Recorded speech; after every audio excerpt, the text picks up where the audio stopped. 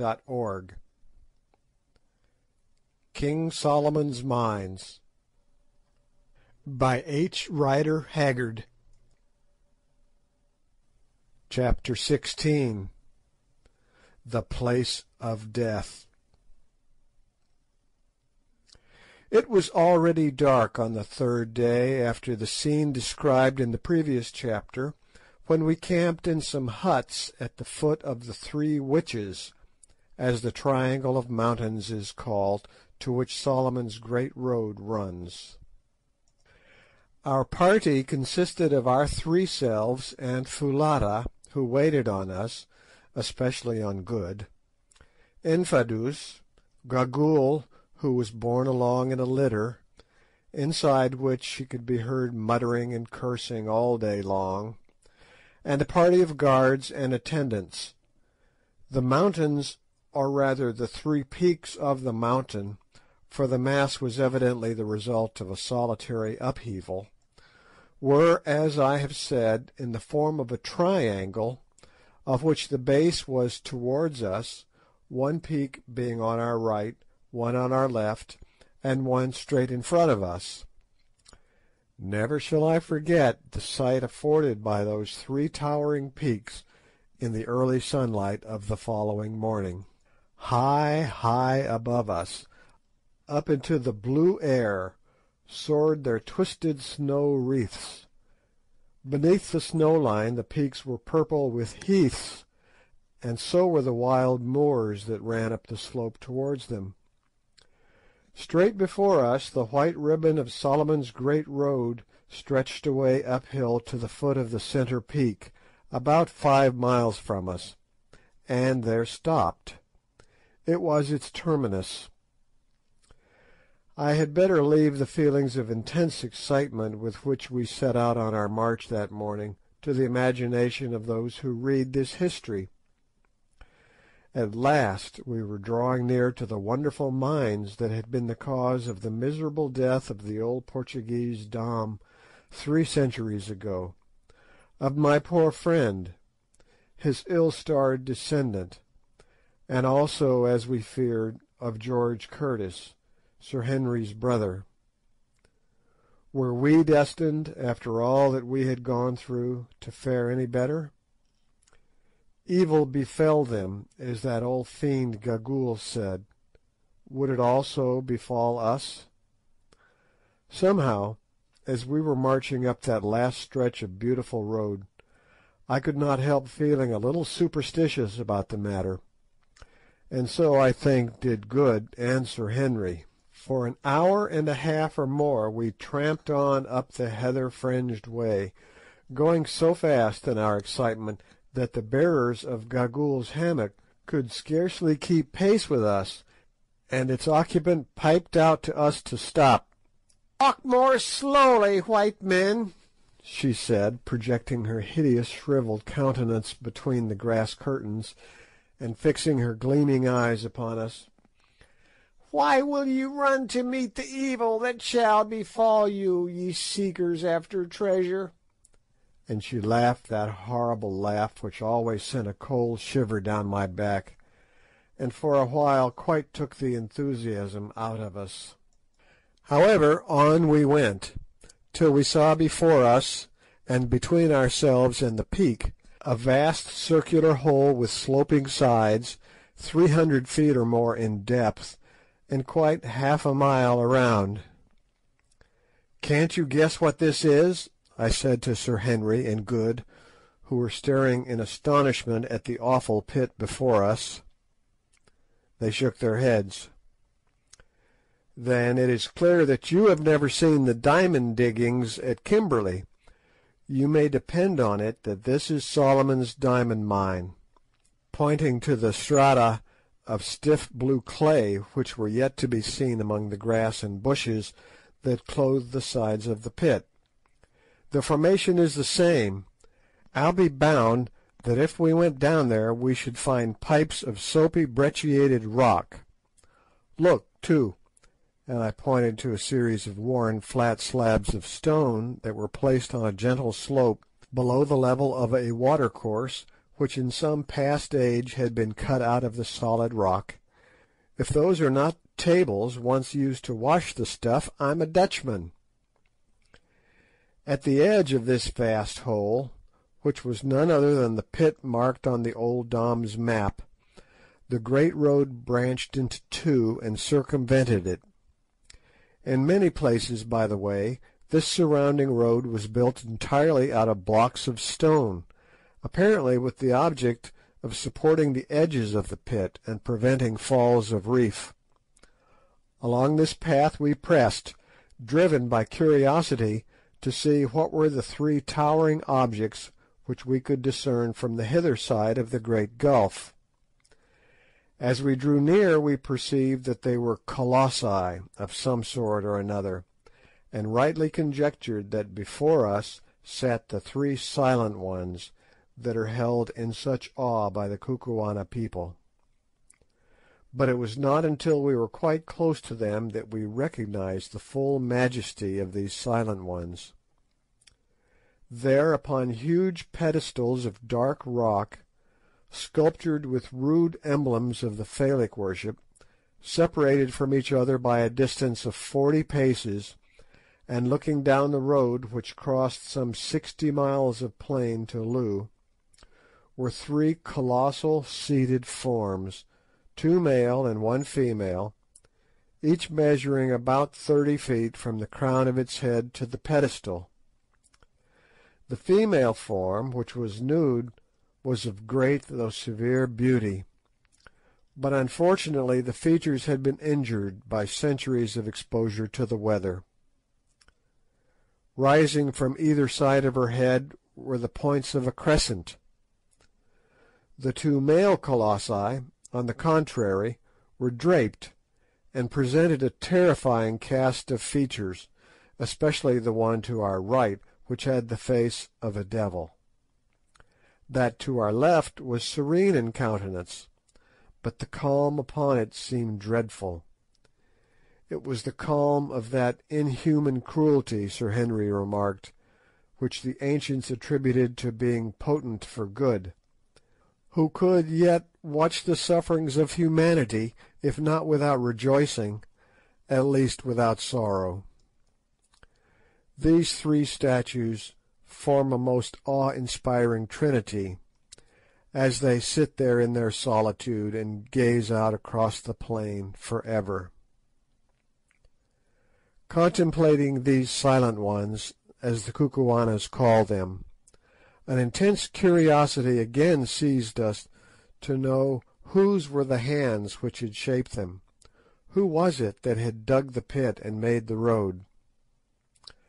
Whilst I was gazing and wondering, suddenly it occurred to me, being familiar with the Old Testament, that Solomon went astray after strange gods, the names of three of whom I remembered, Ashtoreth, the goddess of the Zidonians, Chemosh, the god of the Moabites, and Milcom, the god of the children of Ammon.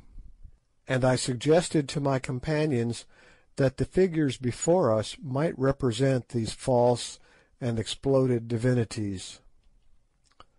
Hmm, said Sir Henry, who is a scholar, having taken a high degree in classics at college. There may be something in that. Ashtoreth of the Hebrews was the Astarte of the Phoenicians, who were the great traders of Solomon's time. Astarte, who afterwards became the Aphrodite of the Greeks, was represented with horns like the half moon, and there on the brow of the female figure are distinct horns. Perhaps these colossi were designed by some Phoenician official who managed the mines. Who can say? Note: Compare Milton, Paradise Lost, Book One. With these in troop came Ashtoreth, whom the Phoenicians called Astarte, Queen of Heaven, with crescent horns, to whose bright image nightly by the moon Sidonian virgins paid their vows and songs. Before we had finished examining these extraordinary relics of remote antiquity, Infadoos came up, and having saluted the Silent Ones by lifting his spear, asked us if we intended entering the place of death at once, or if we would wait till after we had taken food at midday. If we were ready to go at once, Gagool had announced her willingness to guide us. As it was not later than eleven o'clock, driven to it by a burning curiosity, we announced our intention of proceeding instantly, and I suggested that, in case we should be detained in the cave, we should take some food with us. Accordingly, Gagool's litter was brought up, and that lady herself assisted out of it. Meanwhile, Foulata, at my request, stored some biltong, or dried game flesh, together with a couple of gourds of water, in a reed basket with a hinged cover. Straight in front of us, at a distance of some fifty paces from the backs of the Colossi, rose a sheer wall of rock, eighty feet or more in height, that gradually sloped upwards till it formed the base of the lofty, snow-wreathed peak which soared into the air three thousand feet above us. As soon as she was clear of her hammock, Gagool cast one evil grin upon us, and then, leaning on a stick, hobbled off towards the face of this wall.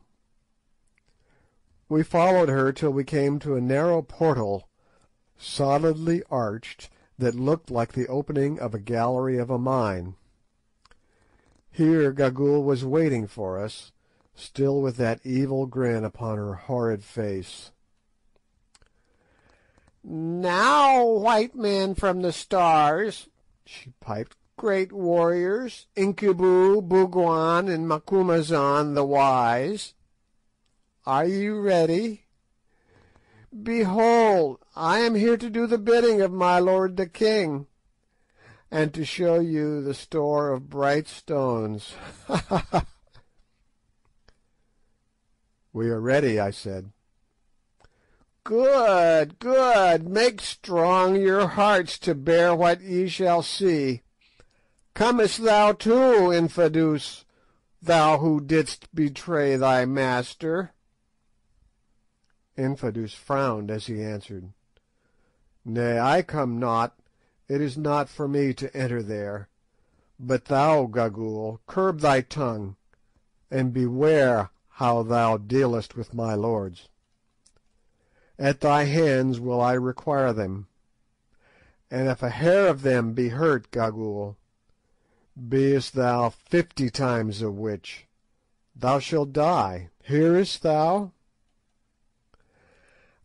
"I hear, Infadoos. I know thee. Thou didst ever love big words. When thou wast a babe, I remember, thou didst threaten thine own mother. That was but the other day. But fear not, fear not. I live only to do the bidding of the king. I have done the bidding of many kings, in Infadoos, till in the end they did mine. Ha! ha! I go to look upon their faces once more, and Twala's also. Come on, come on, here is the lamp." And she drew a large gourd full of oil, and fitted with a rush wick, from under her fur cloak. "Art thou coming, Foulata?" In his villainous kitchen kukuana in which he had been improving himself under that young lady's tuition. "I fear, my lord," the girl answered timidly. "Then give me the basket." "Nay, my lord, whither thou goest, there I go also." "The deuce you will," thought I to myself; "that may be rather awkward if we ever get out of this. Without further ado Gagool plunged into the passage, which was wide enough to admit of two walking abreast, and quite dark. We followed the sound of her voice as she piped to us to come on. in some fear and trembling, which was not allayed by the flutter of a sudden rush of wings. "Hullo! What's that?" halloed Good. "Somebody hit me in the face." "Bats," said I. "On you go." When, so far as we could judge, we had gone some fifty paces, we perceived that the passage was growing faintly light. Another minute, and we were in perhaps the most wonderful place that the eyes of living man have beheld.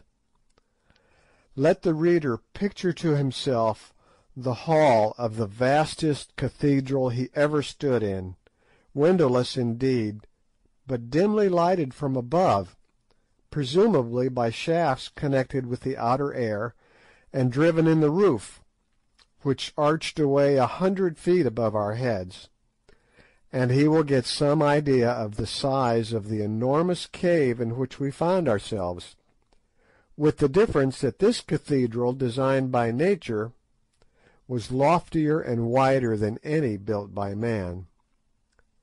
But its stupendous size was the least of the wonders of the place, for running in rows down its length were gigantic pillars of what looked like ice, but were in reality huge stalactites. It is impossible for me to convey any idea of the overpowering beauty and grandeur of these pillars of white spar, some of which were not less than twenty feet in diameter at the base, and sprang up in lofty and yet delicate beauty sheer to the distant roof. Others again were in process of formation. On the rock floor there was in these cases what looked, Sir Henry said, exactly like a broken column in an old Grecian temple, whilst high above, depending from the roof, the point of a huge icicle could be dimly seen.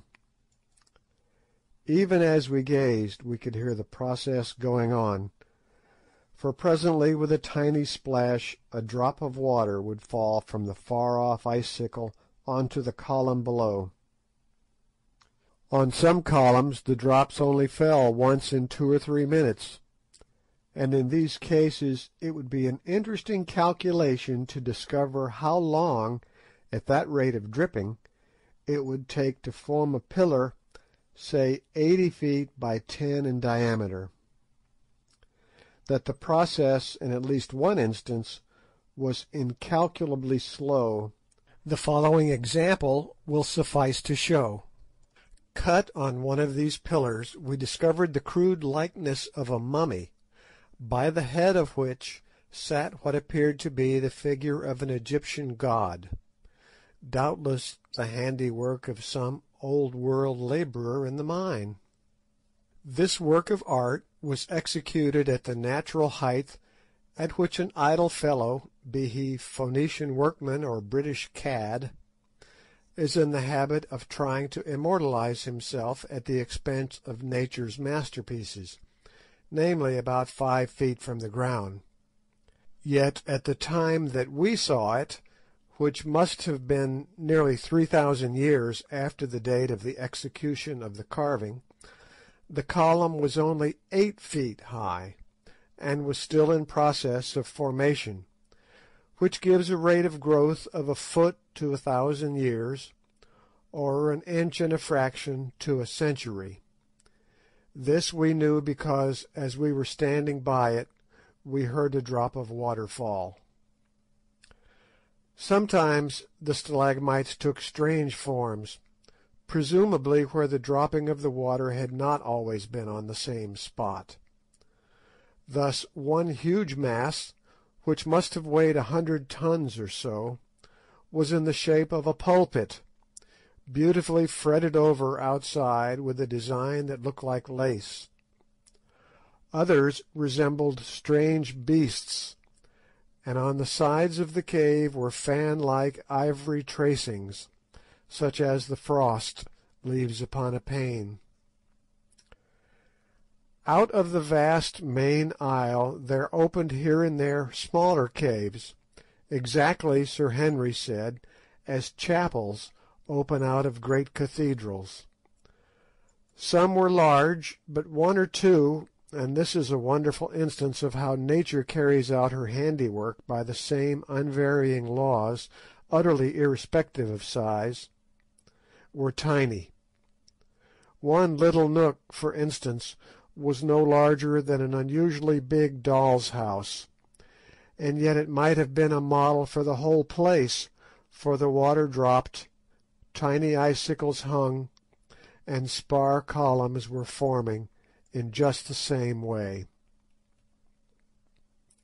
We had not, however, enough time to examine this beautiful cavern so thoroughly as we should have liked to do, since unfortunately Gagool seemed to be indifferent as to stalactites, and only anxious to get her business over. This annoyed me the more, as I was particularly anxious to discover, if possible, by what system the light was admitted into the cave, and whether it was done by the hand of man or by that of nature that this was done. Also, if the place had been used in any way in ancient times, as seemed probable. However, we consoled ourselves with the idea that we would investigate it thoroughly on our way back, and followed on at the heels of our uncanny guide. On she led us, straight to the top of the vast and silent cave, where we found another doorway, not arched as the first was, but square at the top, something like the doorways of Egyptian temples. "Are ye prepared to enter the place of death, white men?" asked Gagool, evidently with a view to making us feel uncomfortable.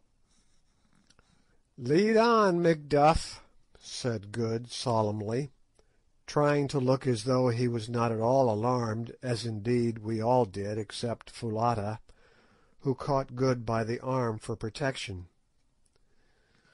"This is getting rather ghastly," said Sir Henry, peeping into the dark passage-way. "Come on, Quatermain, seniores priores, we mustn't keep the old lady waiting and he politely made way for me to lead the van, for which inwardly I did not bless him. Tap, tap, went old Gagool's stick down the passage, as she trotted along, chuckling hideously, and still overcome by some unaccountable presentiment of evil, I hung back. "Come, get on, old fellow," said Good, "or we shall lose our fair guide."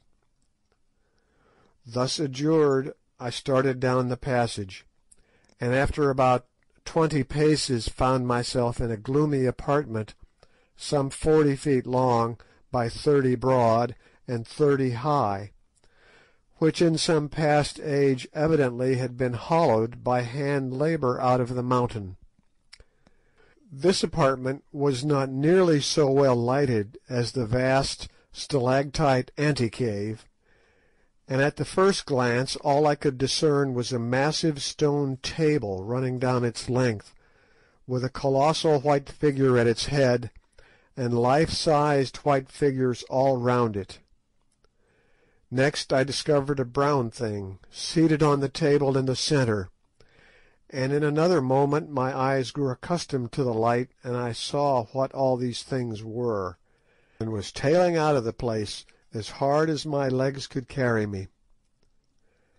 I am not a nervous man in the general way, and very little troubled with superstitions, of which I have lived to see the folly, but I am free to own that this sight quite upset me, and had it not been that Sir Henry caught me by the collar and held me, I do honestly believe that in another five minutes I should have been outside the stalactite cave, and that a promise of all the diamonds in Kimberley would not have induced me to enter it again. But he held me tight, so I stopped because I could not help myself. Next second, however, his eyes became accustomed to the light, and he let go of me, and began to mop the perspiration off his forehead. As for Good, he swore feebly, while Foulata threw her arms around his neck and shrieked. Only Gagool chuckled loud and long. It was a ghastly sight. There at the end of the long stone table, holding in his skeleton fingers a great white spear, sat Death himself, shaped in the form of a colossal human skeleton fifteen feet or more in height.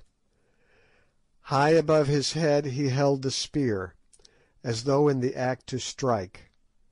One bony hand rested on the stone table before him, in the position a man assumes on rising from his seat, whilst his frame was bent forward so that the vertebrae of the neck and the grinning, gleaming skull projected towards us and fixed its hollow eye places upon us, the jaws a little open as though it were about to speak.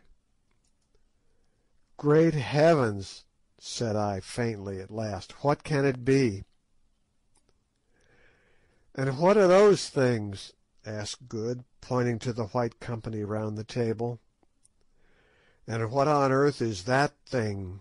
said Sir Henry, pointing to the brown creature seated on the table. "Hee! hee! hee!" laughed Gagool.